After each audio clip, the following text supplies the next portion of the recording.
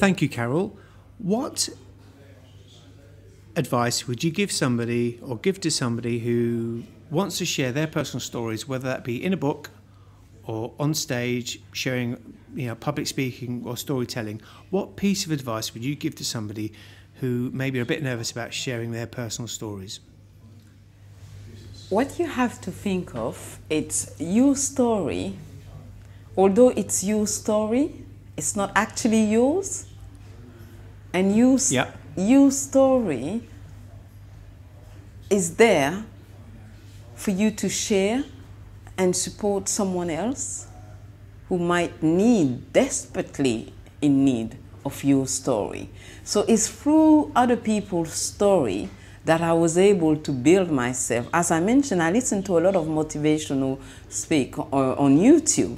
And Les Brown's story, for example, had made me who I am and not just Les Brown, but there's many other which I do listen to, and it's Yeah. their story who resonate with me. Because the thing is, with story, from years since the time we were small children, Yeah. story we connect to story. You want to hear story. People feel as when when you tell a story. That's the ultimate way to connect with someone. Yeah. If I want you to remember me, all I have to do is give you a story. Yeah. So your story you might think might be very personal or you might feel a little bit uncomfortable or ashamed of your story. But don't be ashamed of your story. Own your story. Your story it's yours. It's okay. Whatever adversity you went through, Yeah. it's fine. Share it because we all have our struggle. Yeah. So don't feel embarrassed with your story. Own it. So your advice is if you have a story, you should share it.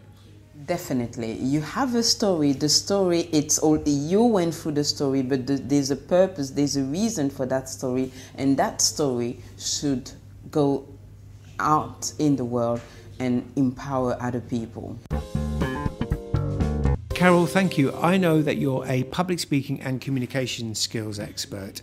So, when you talk about sharing your story, having the courage to do that, from a technical perspective, from a an expert view, when you are sharing that story on stage in front of others, is there one piece of advice you can give to people to say, you know, incorporate this into your story to help it to connect with others? When you speak, don't think of you giving a story, you telling the audience. Think of what is the audience need. Who are your audience? What do they need? And then Yes. you tailor your speech according to the audience, according to the people. Because it's not about you, it's about the audience. Yeah. It's about what they need to hear, what they want to hear, regardless of what you think. It's about them.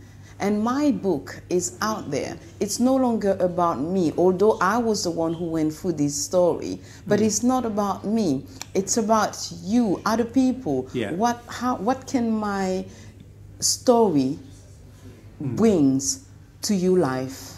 Uh, you're right, and it's good. It's a good point. in That is, you know, stories will have uh, a, a, be, will be set around a context, will be set around a, a message, maybe a central message or two, or maybe more, and it's actually been able to kind of distill that in a way that is meaningful for other people.